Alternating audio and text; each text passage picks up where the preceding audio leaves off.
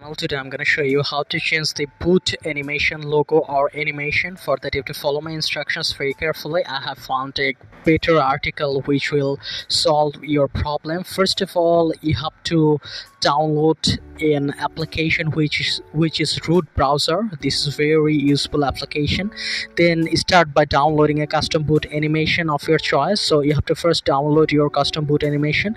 Then you have to look for the boot animation.zip file associated with the animation.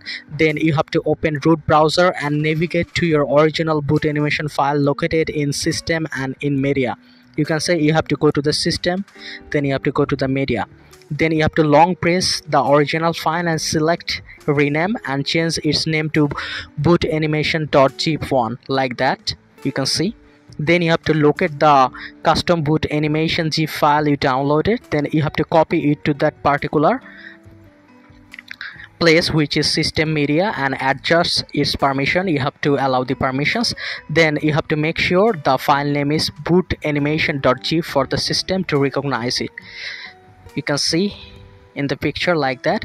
Then you should now see 2g file the new one which is boot animation.zip and the original boot animation.zip one. After that to activate your new, new, new boot animation simply reboot your device. That's all. You will get the new boot animation. That's how you can do it and if this tutorial helped you like this video and don't forget to subscribe to my channel. See you in the next one